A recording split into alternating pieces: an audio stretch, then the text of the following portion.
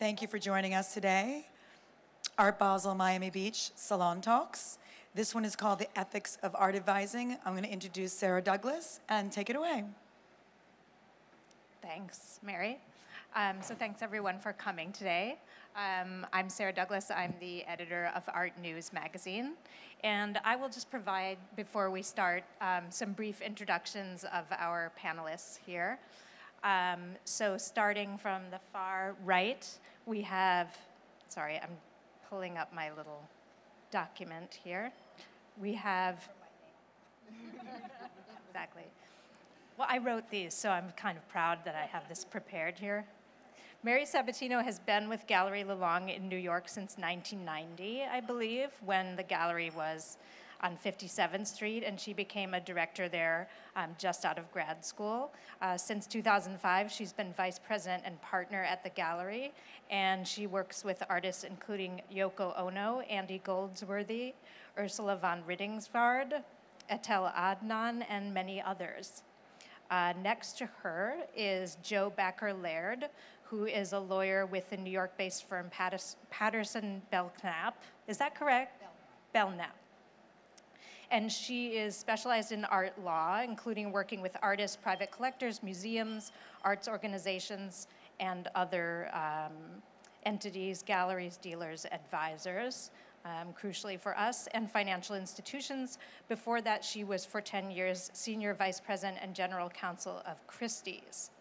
Um, she also is um, a former bo board member of Volunteer Lawyers for the Arts and is, I believe, an adjunct professor of art law at Columbia. Um, and then we have our art advisor on the panel. This is Wendy Cromwell. She founded Cromwell Art in 2002. Prior to that, she was vice president of Sotheby's Contemporary Art in New York. She, before that, managed the Shearson Lehman Brothers Contemporary Art Collection and was art collection manager at Chemical Bank, which became Chase Bank, I believe. Um, she is the former president and a current board member of the Association of Professional Art Advisors. And then we have Jill Kraus, who um, probably many of you know is a noted contemporary art collector with her husband uh, since 1980, I believe, uh, focusing on contemporary art. Um, she's involved with a number of institutions, including the Museum of Modern Art, and is the board chair of the Public Art Fund. And I believe you're also on the board of the New Museum, is that right? And CalArts, that's right, and CalArts. Um, and so I, I, think we should just kind of dive into our topic. I want to provide a little bit of context um, for this panel. Um, I thought it was an interesting time to think about uh, the ethics of art advising. Um, perhaps some of you saw back in August, the New York Times ran an article about the growth in the advising field and some this article was structured around some rather prominent new additions to art advising who had come out of the auction houses um, and were pursuing, a, in some cases, a slightly different model of, of art advising. Anyhow, the article was called Soaring Art Market Attracts a New Breed of Advisors for Collectors. The authors of the article wrote, quote, the rapidly changing art market, characterized by soaring prices, high fees, and a host of wealthy new buyers from Wall Street and abroad, has prompted scores of new players to jump into the pool, from young art world REVs to former auction house executives with an abundance of expertise and connections. The article went on to say, many art advisors view their, many veteran art advisors view their new competition with concern. Some practitioners are too inexperienced to provide good counsel, they say, or use tactics that they warn threaten to sully the profession, like dealing on the side or demanding brokers' fees from both their clients and the galleries that sell to them. In this article, the um, vice president for um, North and South America at, at Sotheby's, Lisa Dennison, um, commented that we're seeing art advisors become more and more acting as negotiators in transactions, which she saw as a somewhat new development. They're more prominent at art fairs and auctions. There's more, this was not in this article, but the, there's more visibility, I think, for art advisors, and I think there's even a reality TV show about art advisors now.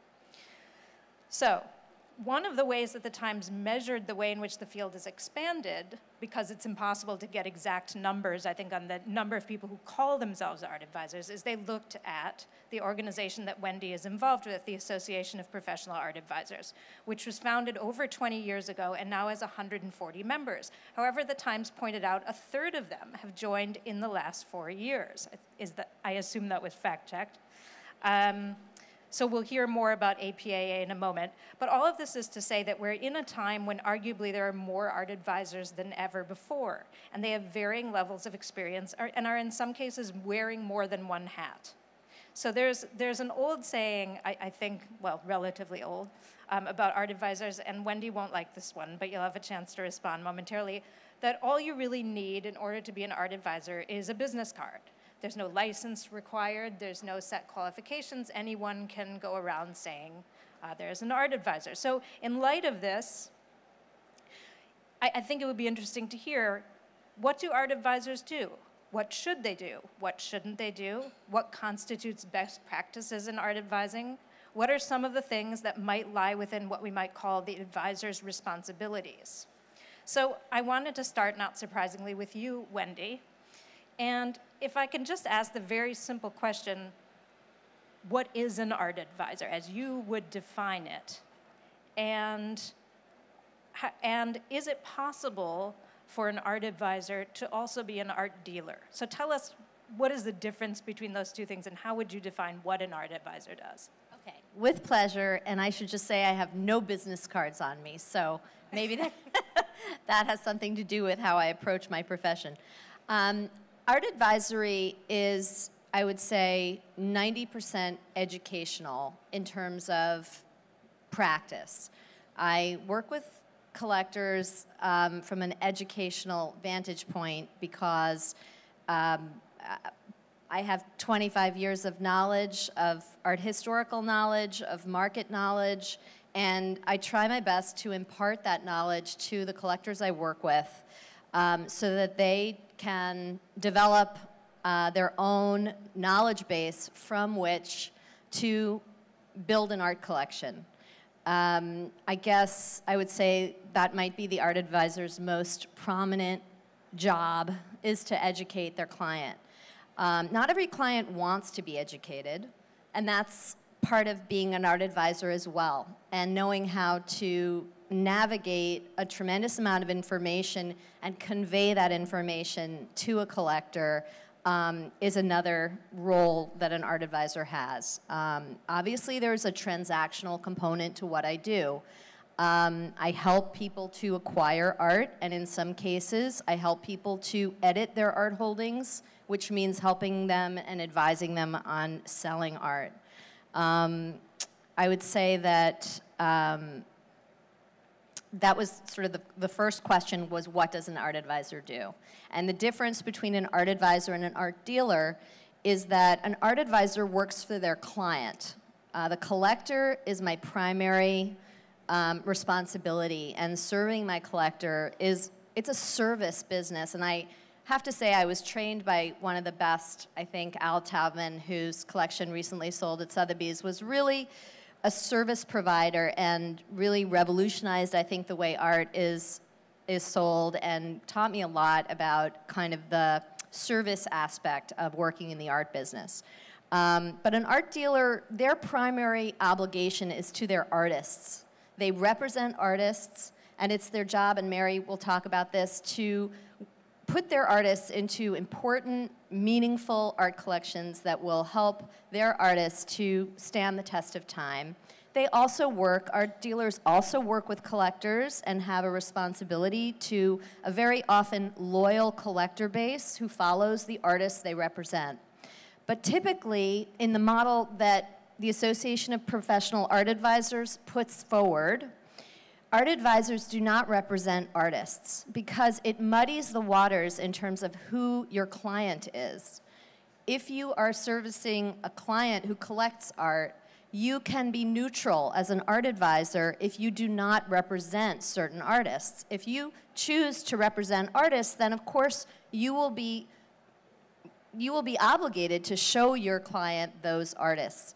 Um, I believe strongly that an art advisor should maintain neutrality, and therefore I do not represent any artists, nor do I buy and sell works of art on my own account, which dealers do. And that is a very important part of what dealers do. They buy art that they identify as being important to sell to their collectors, and they hold on to that work, and at some point they sell it. An art advisor I believe, in order to remain impartial and avoid conflicts of interest, should not be buying and selling work on their own behalf. They should be acting as a conduit to their collector, helping them to buy the art. So just following up on that, I, I you know, I copied down the APAA Code of Ethics here.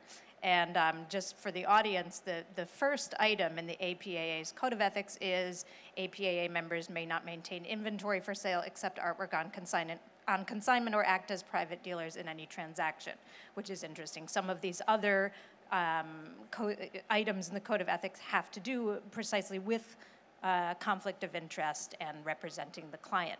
Um, and so I want to just follow up on that. Um, now, I believe you're involved with the um, membership committee at APAA, which art advisors can apply to be members of this organization. And I believe that they need to have a um, letter of recommendation essentially from two art dealers. Um, so, uh, you know, that being the case, I hoped we could turn Mary to you and, uh, you know, let's say you were um, asked to recommend someone for the APAA. Um, I, am wondering what, in your, in your you know, practice as, as an art dealer who represents artists, works with collectors, works with, I'm sure, many art advisors,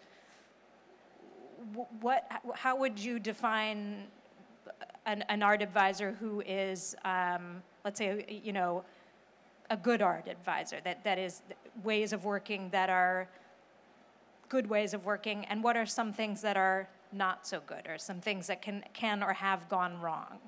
What a loaded question. um, I just realized I've never ever been asked to recommend an art advisor. Um, to the organization, which is kind of curious. And as I was listening to your code of ethics at the, um, until last year, I was on the executive board of the Art Dealers Association, and we also have a code of ethics, which you know sets out different, which which I think that's what is very good for both and for for our audience, our constituents, our clients, is that people know there are certain standards that good dealers, good art advisors, you know, look to uphold. And uh, as far as gallery's relationship with art advisors, uh, a good one is someone who brings you an opportunity that you would not have had for your artist. That's the best. Uh, and then manages the transaction with their client from beginning to end in a way that's transparent and ends up in a very positive result. And I have some quite dear friends and colleagues who are art advisors, and it's, it's really the way it takes a team or a village to raise a family or raise a child, it takes several villages to um, help an artist achieve uh, success. And art advisors can be important to us in terms of finding opportunities or having a network that we don't, we might not have access to. And I would say when the transaction or the relationship is less successful, it's because it's not clear whose responsibility is who. Um, you know, sometimes people, art advisors can play different roles. Some of them are a kind of soup to nuts person for their clients. Uh, some just make the introduction, but it's good for the gallery to know what our role is, what their role is. And um, I think when conflict happens, it's when it's not clear who's supposed to do what or why. Um, and then often the client is unhappy, and that's the worst possible result. And so, on that note, before I turn to Jill, I want to quickly turn to Jo, who I hoped could tell us a little bit about the, this concept of fiduciary as it applies to relationships like this, because this, this actually is more than even an ethical concept, can sometimes be elevated to a legal issue. It's one, it's one of those places where ethics are really enshrined in the law. Uh, a fiduciary responsibility is, uh, is the highest form of responsibility that one person can have to another. Some people get it by dint of, of their position, their profession. I am a fiduciary for each one of my clients, which means that I always, always have to act in the best interest of the client, not my own best interest and not the best interest of somebody else. Uh, I cannot work. I cannot work on something that is adverse to the client unless there has been a knowing waiver uh, of that possible adversity uh, or adverseness. So I think the, the code of ethics that Wendy was talking about really, um, really uh, protects or sets out the, the parameters in which an art advisor can be safe. Some people get it by dint of their office. Some people get it by the nature of the relationship. Uh, and the relationship of some art advisors with their clients will be more close than others. Uh, if, if you are on the end of the spectrum where you are advising somebody who really has no idea what the art market is about, has no idea where thing, how things work, uh, and, and can rely only on you, and only uh, where there's a real, a real disparity of knowledge, you are more likely than not to have a fiduciary responsibility to that client. And whether or not you do, whether you are in a case where if, if there were to be litigation, you might be able to prove that no, no, no, they were really experienced and it really wasn't a fiduciary sort of relationship. Your client will always claim that it was. Your client will always claim that they were relying solely on you or relying largely on you. So the best thing to do, both from, both from a business point of view and an ethical point of view, is to make sure you're living up to the highest standards, which is only acting in your client's interest at all times. So just quickly, I want to present you with two scenarios, okay? And I, and I was hoping that you and Wendy could respond to these. So in the first scenario, let's say, because I, I think it'd be interesting for our audience to think about how art advisors maybe actually work. So let's say I'm an art advisor, and before I was an art advisor, I spent five, seven years as a director at a major gallery. Let's call it Gagosian. And, um, and then, you know, after that, I become an art advisor, and my client is a Mrs. Smith, um, who is a, you know, prominent collector. And I, there's a piece at Gagosian Gallery, happens to be at the place where I used to work. Um, and I'm working on acquiring this for Mrs. Smith. And in the course of this, I get paid. Now, I'm on retainer with Mrs. Smith, by the way. I'm being paid a monthly retainer by her, or perhaps an hourly rate. Um, and then I get, a, I get a check in the mail from Gagosian Gallery, and this is a courtesy check for doing business with them. It's maybe not necessarily on the invoice that Mrs. Smith saw. Um, is it okay for me to keep that check? Send it back. Or, but what if, what if I come to Mrs. Smith and I say, I got this check, listen, I, I have a real okay?" life scenario, if we want to be explicit, and I think we can be, we're among friends. Um, we, as art advisors, um, should not accept any remuneration that the client is not aware of. So instead of sending it back, I might say, I'd like to share this with you, or I'd like to pass this on to you. What are you comfortable with? This can be an additional savings to you, and perhaps because I have this relationship, you'd like to give me a little extra. I mean, it can be a conversation where you don't expose yourself in doing anything wrong. But I mean, a real life situation is there is a gallery, one of the most prominent galleries equal to Gagosian, that will not give any collector a discount. That is their motto and that is their creed, and they do not give discounts to anybody. When an art advisor is involved, they give the art advisor a 10% check. Um, I have been in this situation, and the first thing I did was say to the client, I will give this money to you. This is not my money. This is the discount you should have from the gallery. And then you should think about how you want to compensate me on this transaction. Um, I have had the clients say, don't be ridiculous. You earned it. Keep that money. Um, but I, I've also had clients who said, great, I'd like to have that money, and then let's discuss what, you know, what your input was worth. So, So the, that's, so the key here is transparency, essentially. The key is totally transparency. Disclosure is a wonderful thing, and when I said give it back, it's a little bit facetious. But in that circumstance, where where you have not presumably you haven't discussed this in advance with your client. I mean, even even God forbid in a contract, an advisory agreement, where you say, look, I will get paid only by you, I, or I, if I receive an introductory commission from a gallery, I will reduce your uh, the compensation that you're paying. I mean, you can have you can arrange all of that in advance. Uh, if somebody comes after the fact uh, and you say, "Gee, here's a check I just got. Uh, do you mind if I keep it? What do you think I, I should do with it?" I think that sows distrust in the relationship. These are things that you should speak about up front.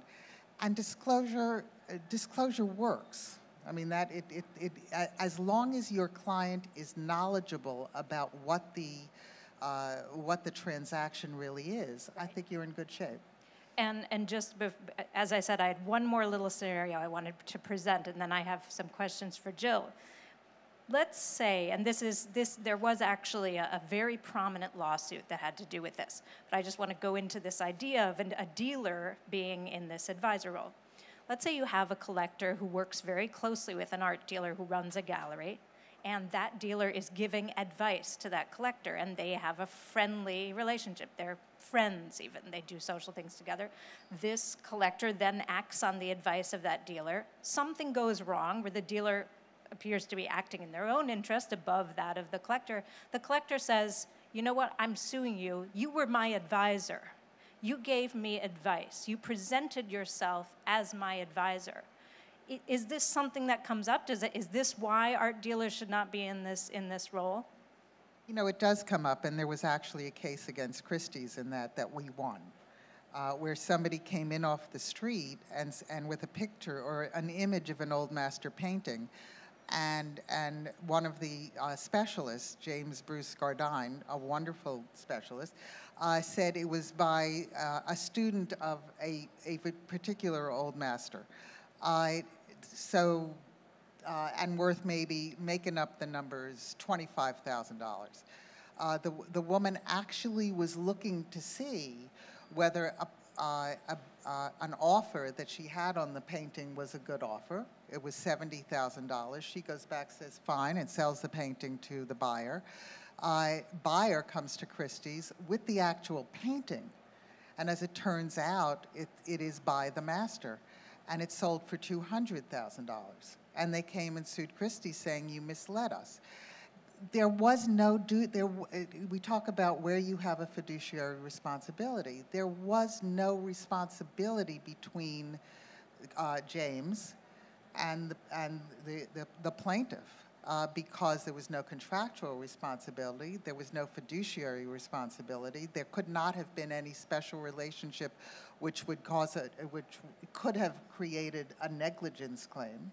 Uh, so there has to be some responsibility. Now it's a little bit different when you have somebody who is your friend and gallery that you work with and, and, and advises, but I still think that that would be, it's a case that can be brought, uh, but I don't think it's a case that would be won. So now I'm, I want to get a different perspective on all of this, turning to Jill. So Jill is an, is an interesting uh, choice for this panel because she, in fact, has never used an art advisor. Um, and so I want to hear a little bit about, and but we were talking about this before. What's remarkable is um, in our conversation we had before the panel, she was saying many of her, her collector friends are, are now using advisors, um, and that you're maybe in the minority. And I, I was hoping you could you could tell me just a, a little bit, maybe about your your evolution as a collector. You know why you've never chosen to, to work with an advisor, and also what you think about sort of being in this in this minority now. Well, I'm certainly in the minority. Uh, we, I was talking to another collector friend and a dealer yesterday, and we were trying to come up, make a list of uh, collectors that we knew who didn't didn't either have a uh, advisor or a curator um, on staff, and uh, we filled one hand uh, which was really scary. I, it was like shocking, actually, to me. Um, you know, we started working, we started collecting in 1980. And, you know, I had finished art school, we had just gotten married. Um, my husband and I, my husband asked me for my birthday, you know, two months after uh, we got married, what I wanted for my birthday. And I said to him, I want a Pierre Alechinsky and so um, who was a Cobra School painter. And so we went uh, to the gallery in New York that represented Alechinsky, and we had no money, and we bought an Alechinsky print. And uh, my husband said to the dealer, Well, you know, very cocky at 28 years old, you'll call us if you think there's something that will, you know, we'd be interested in. And um, the dealer said to us, no, I'm not going to call you. You'll come back every month and I'll show you what's new. And um, we went back first every month, then it was every three weeks, and then it was every two weeks, and then it was every week. And um, we really spent a lot of time educating ourselves and, um, and looking at art and what, what I worry about today is that people are buying, with, with art advisors, people are buying with their ears instead of with their eyes. And it's easy to have someone who advises you to um, buy something. And today, people are looking at um, art as a commodity, as an investment and it it really isn't. Well, you I- know, I- I mean, yes, in some cases it is, but you know, I bought that Pierre Alechinsky, and you know, maybe a year later we bought a, a really big drawing of his, and so people used to look at me and say to me, "You bought a who?" You bought a what? now, of course, Cobra's and now coming back. Cobra's coming and having a resurgence. And you know, I was at a luncheon not long ago, and this a pers- young person who was collecting was sitting next to me, and he said to me, "Well, I'm buying this and I'm buying that, and so you know, look at what the prices are, and look what's gone up and what's gone down." And I said, "You know." I guess I've been doing this too long because, you know, I remember the 80s when the market was really the first incredibly frothy collector's market. And, you know, there was this groundbreaking exhibition at the Guggenheim of the Italian painters. And if you like listed off of all of those contemporary painters, I would guess that, you know, if you talk to half of the art advisors today, they wouldn't even know who any of those painters were.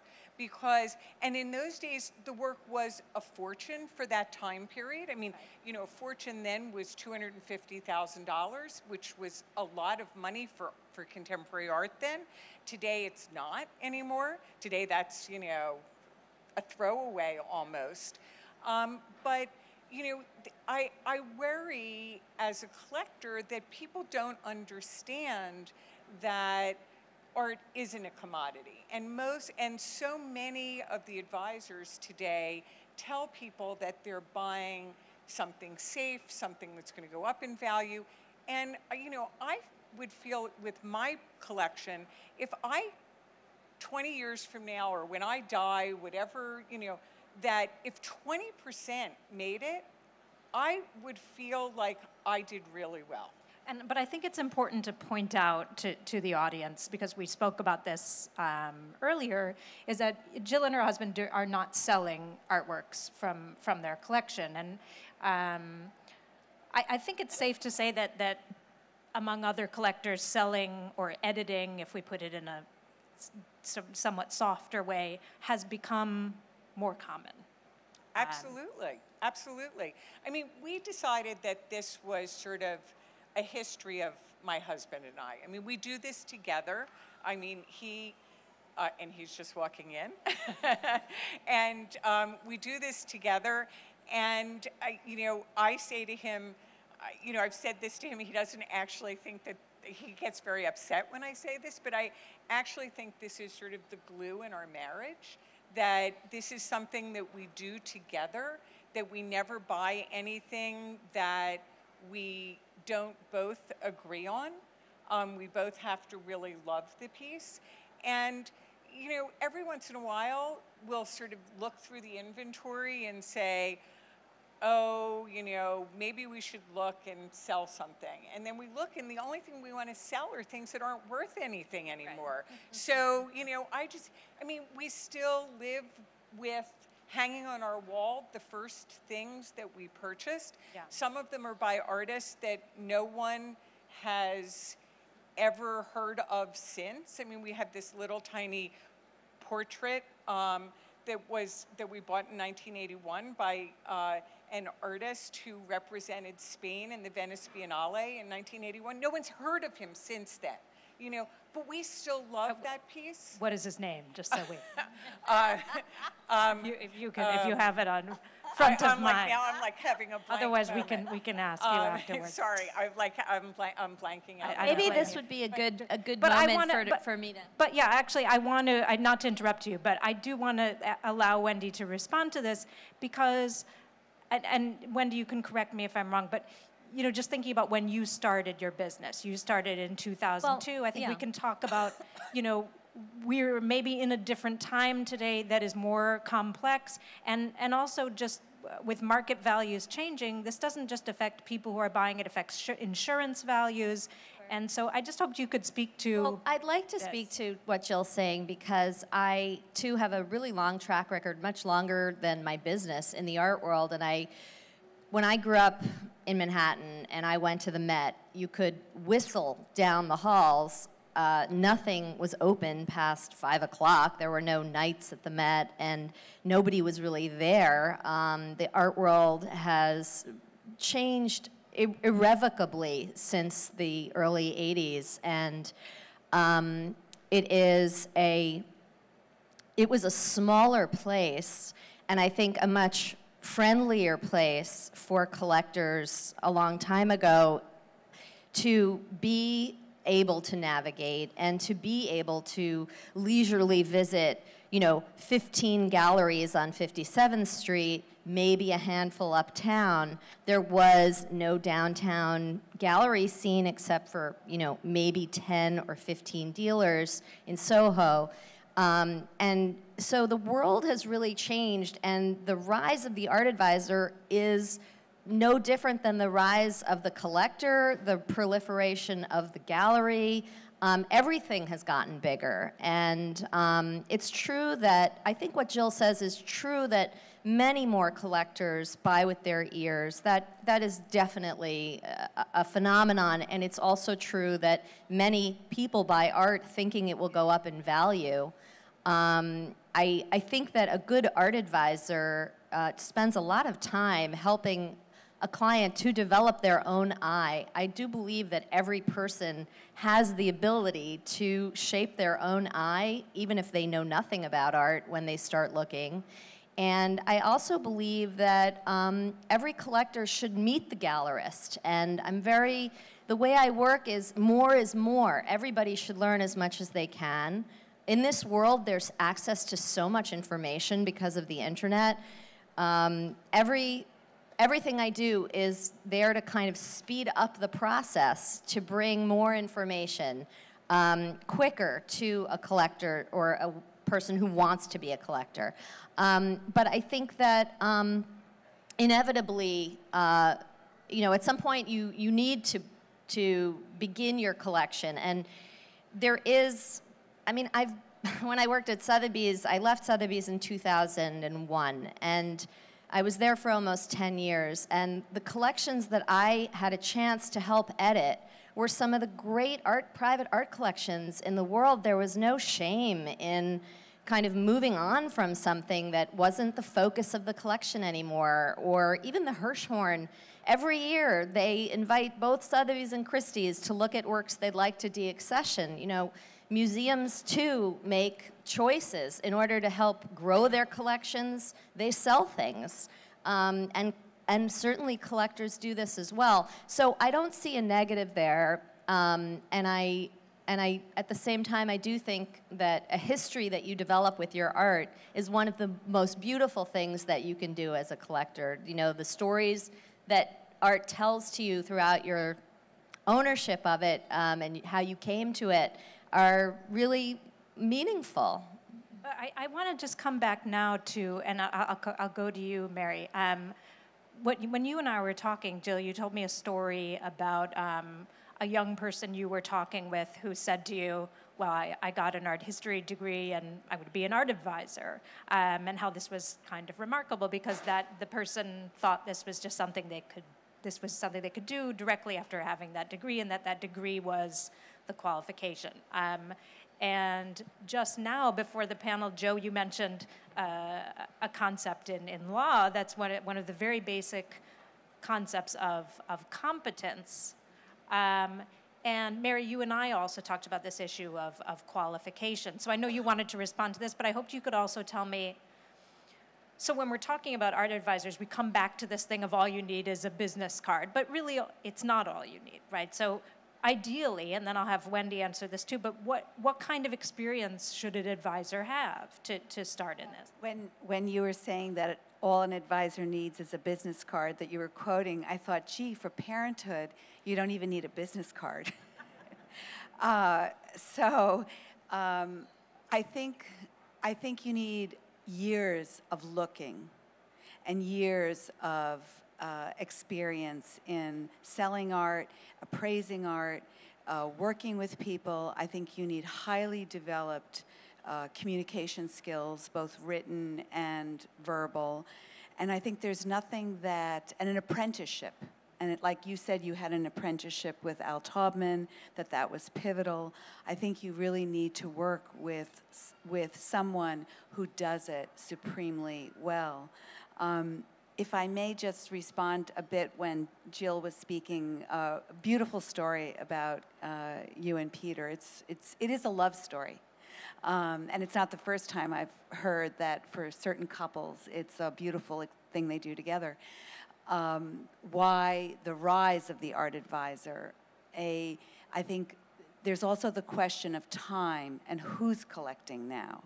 So in, let's say, between 1900 and 1930, of collectors or people who were high net individuals, something like 10% of them had jobs. And today, of that same group of people, and this is, this is a quote I'm stealing from Mark Spiegler, um, is there's more than 60% of this group of people who are working. They have, they're running businesses, they're running industries, and they're younger, and they have families. Now, I know you and Peter did it when you were raising your family. We used to go with my son in the baby carriage. I mean, he, we, he went everywhere. You know, his first outing in the carriage was to a gallery. So um, we, it's a, it was a family uh, experience. But in terms of why people, more people, despite, in, addition to the general growth of the field in all ways, I think there is this question of time and that people are used to outsourcing professionally. And that's another kind of outsource. I, you know, I, I sort of take a little umbrage with that because both my husband and I were working full time. So it's a question of whether you want to spend the time looking versus do you have the time to look? I mean, you know, we will call dealers and say, can we come down at seven o'clock at night? Or can we come in early? Or, you know, I, it, I, I do think that it's, it, it's it can be a laziness um, that, or, uh, not a laziness, a crutch uh, to say that I don't, I don't have the time to do it because we were, you know, we had little kids, we both worked full time, we both traveled extensively for our jobs, and but we made the time to, you know, to go and look because it was important to us. But to, just to play devil's advocate here, I, I, I'm assuming you're talking about in the 80s, there probably weren't 500 galleries in Chelsea. No, there weren't 500 galleries. hu- 200 on the Lower East Side, and then And the internet. all these art fairs. Um, which just because we're at an art fair, and I'm sure there's a lot of people here who who aren't as familiar with what they see art advisors going around these fairs with their clients. Wendy, can you just tell me a little bit what, what, what are they doing? What, what are you guys literally, you're with a client, you're taking them around. Well, what's happening there? Well, I'd like to say that there are some art advisors in the audience, including the president of the Association of Professional Art Advisors. And on opening day, opening moment, I saw many of my colleagues um, walking the aisles with their clients. Um, there are more and more people who want to buy art, and an art fair is a daunting prospect. Uh, there is a lot uh, to take in, clearly, and a lot of competition to get the best works. In my day to day life, I rely on the galleries to help me educate my clients and buy art from them. I do not rely on art fairs. Art fairs are really places where very seasoned collectors who are looking for specific works, who can only get them because these days, unfortunately, certain artists produce art for an art fair.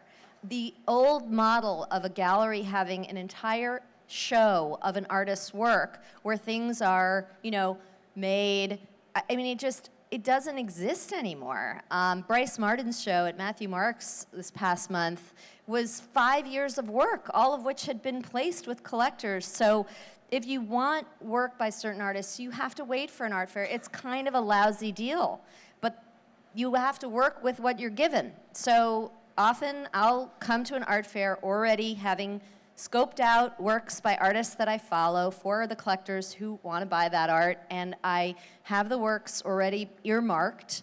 And there are so many art advisors that I feel like I have to go to art fairs in like, I don't know, Georgia or Eastern Europe, I, just to find work that is, I don't have 10 other art advisors trying to buy the same work. So it's very competitive, and I'm very limited because I don't have a team that I work with. It's just me, and I really value the relationships I have with my collectors. I travel with them for years. I'm their eyes and ears, um, and I think that many of the art advisors in the Basel Miami Fair work the same way I do with loyal clients who are looking for specific things. We put them on hold before the fair opens. We go look at them. We do all of our best work two weeks before the fair opens. And the first hour of the fair is kind of it. And then I'm still working. I'm still here working with clients, and a number of my colleagues are, because not every art collector has that kind of passion or motivation. Some people who want to buy art really just want to stroll around the art fair and look at everything and talk about everything, and that's what today is for. And uh, dealers often change out their gallery selections, and so luckily there's more work that can be done.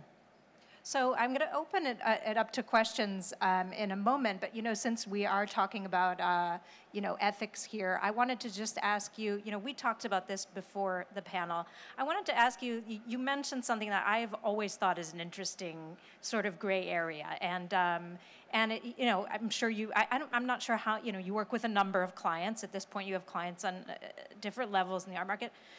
What if you one of your clients has you know has something they want to sell it that another one is something they're looking to to buy? I think this is a situation where you said you you would remove yourself in in that instance. Right. So sometimes you have access to knowledge. You know that a collector of yours owns a piece of art that they might want to sell, and you have another collector that you work with who would like to buy something by that artist, but unfortunately, there is no access to that work. Either the artist isn't having a show for another year, or you have to wait uh, for museums to make all of their purchases before the plebeians can buy art from the gallery. And um, this is a situation that I personally don't like to be in because I'm not an art dealer and I don't feel comfortable. I don't know how to charge my clients. Who's the client? you have two clients, you don't really want to be paid. It just feels wrong. So I recuse myself, and I often put the art with an art dealer, and I will make money only from the person who buys the art from the art dealer, and I let I let the art dealer make money. Uh, I think it's good for my business to give back to the dealers who helped me get access to great works of art. And I know that there are other art advisors who would not act. I've spoken with my peers. Um, actually, a peer who's on the association with me who said that she's just transparent and she takes less than she would normally take from each party. I just quickly want to say, I know I've been monopolizing a bit, but art advisors need to be very clear that what they do is a service and they should be paid by, for their service. And there's nothing murky about what we do. We provide a service just like a lawyer or a doctor would to their client. And as long as you're open and transparent with your client and they understand exactly the value of the service you're providing, there is no issue. And what's, what's really important about Wendy was, about what Wendy is saying is that first of all, you have to identify the sorts of things that could create a conflict of interest. Uh, it doesn't always come, come forward with trumpets and, and, and, and, and bright lights. If, if, you, if you as an advisor are going to be getting any kind of a benefit, uh, a benefit of goodwill with somebody else, if you have an interest in a particular artist or piece of work, anything like that needs to be disclosed. Uh, and, and with disclosure, uh, I think you can engage in the business. Uh, Wendy's approach was simply saying, look, there's a conflict. I'm not going to engage in this. I'm, I'm not going to engage in the transaction. There are two different approaches, both of which are totally viable legally.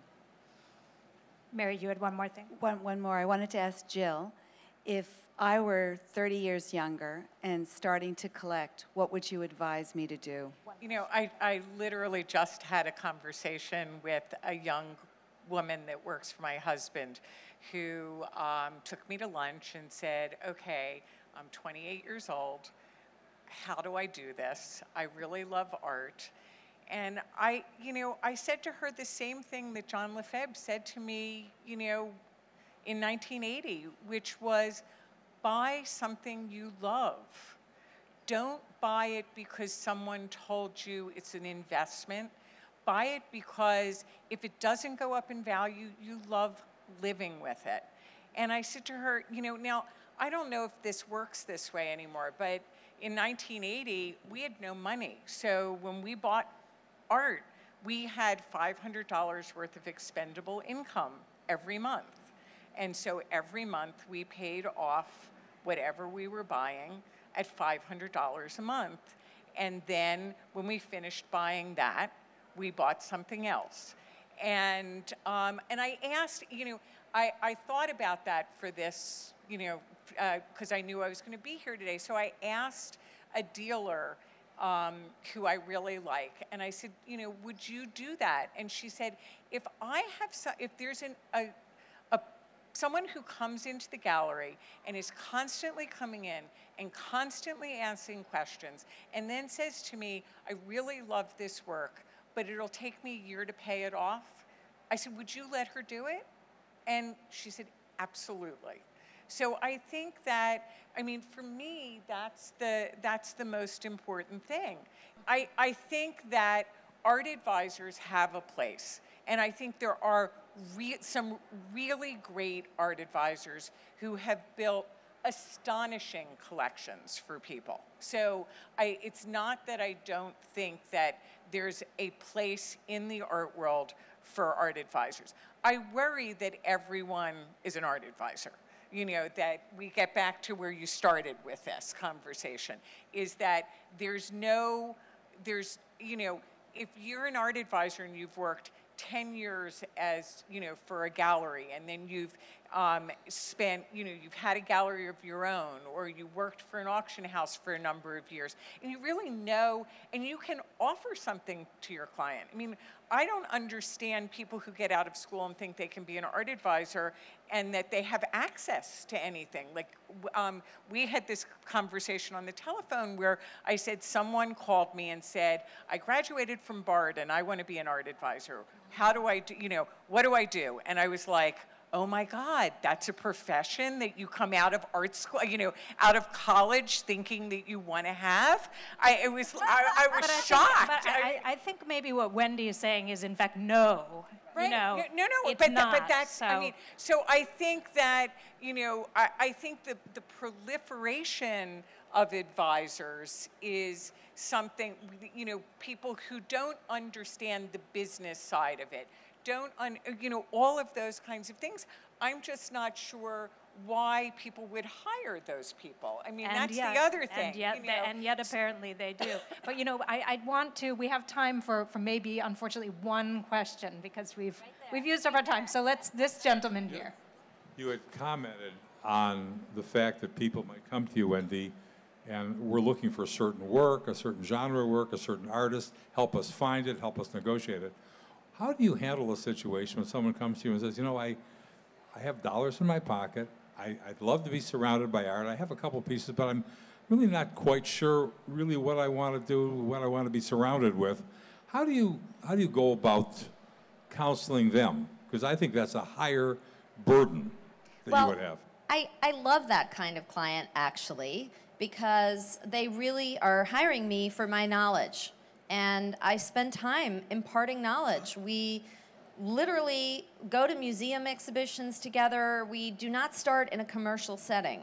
Uh, we read things that are helpful to identify different movements in art, different areas of art that could be interesting. We talk about what these things cost so that people have a knowledge base for informed decision making. I mean, I had somebody who came to me and said, I love Richard Diebenkorn, and I have $50,000 and I only can buy one thing. Can you help me? And I said, Well, there's only one Richard Diebenkorn, and you can never have that work at this point. Even a print costs more than $50,000. Well, you can get a small print, black and white. I said, let me help you look at younger artists who are inspired by or who work in a, in a trajectory that comes out of Diebenkorn. And we bought, this was maybe seven years ago, a painting by Amy Sillman, who at the time, I think it was about $35,000, so I saved him some money. And now that painting, you know, is, I don't have access to that work anymore because her market has taken off to the point where only museums and museum trustees get to buy that work. So, you know, I'm, I love that kind of client. We have one more question in the, in the front row here. Thank you. Um, I also want to specify that maybe working with an art advisor for to look at things like condition reports and whether the title is clear and liability issues. Um, I don't know what kind of liability insurance you all carry.